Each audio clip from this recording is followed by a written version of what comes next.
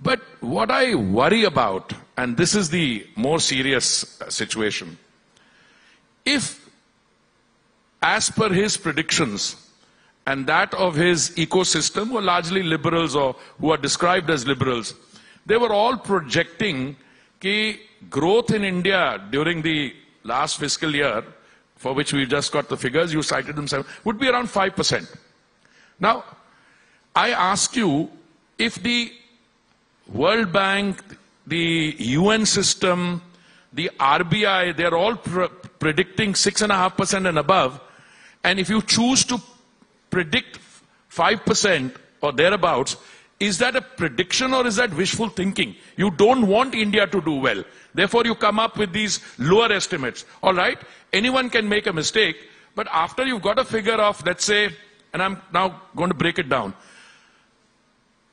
GST collection, I thought, was for the 14th month running above 1 lakh 40,000 crores. It was 1 lakh 57,000 crores. If you look at the last quarter's growth, if you look at the overall growth, 7.2%. But why do you feel unhappy when such statistics are rolled out?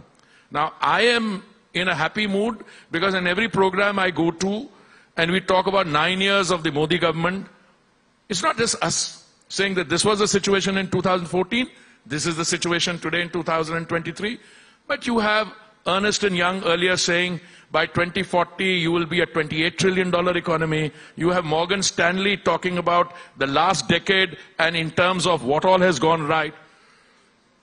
Why do some people instead of joining in the celebration, choose to put what I think is A, a false construct on it.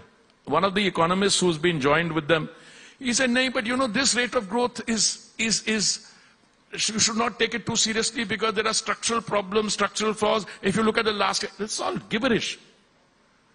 Once you make a projection that your economy is going to grow at 5% or 5.2%, and you end up with 7.2%, the intelligent thing to do is, hey, I'm sorry, I was wrong. I'm glad. Now I think if there are any other correctives to, to be taken, please take them.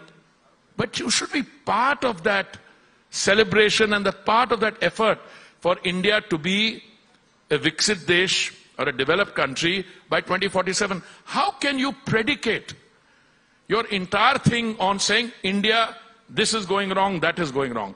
I want to conclude with a small piece of information which many of you may not know. I am very used, uh, very fond of recalling the work of a Cambridge historian, Angus Maddison, who said that India's contribution of the global, to the global GDP was in the vicinity of 25% in 1700. But there's another statistic I want to give you. At the time of the Mughal Empire, the Mughal emperor had given the designation of Jagat Seth or banker of the world to one set of people in Calcutta because their wealth was more than that of the British Empire in 1720. This is, that is what you have to reclaim. The economy, the culture, the heritage. And here you, we, all right, we became independent in 1947, but we defined our entire 7,000 year old civilizational historical DNA in terms of that 190 years when we went from 25% after 1750.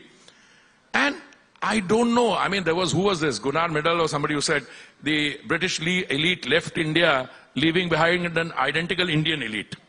So I don't know whether, so I think the PM make two points. One is Viksit Desh by Amrit Kal 2047 and shed your colonial mindset. I think some of these guys are having difficulty because they run away from the local domestic arena, periodically go to London or uh, uh, uh, the Big Apple or San Francisco somewhere, and then identify with people who organize programs. I wish somebody would check their antecedents. Because some of those organizers really are open proponents of, well, I heard somebody use the term, I could have used a more Absolutely, absolutely. I agree with you. There is a there is a organized effort. It's to say that there are lobbies for X, Y, and Z is too mild. There's an organized effort, obviously financed by someone, say, by India can do no right. So anything that you're doing well economically, you're doing well in something else, uh, the India's infrastructure is beginning to take a new shape, and you, are, you know, you have this, uh, what do you call it, uh, whining and carping.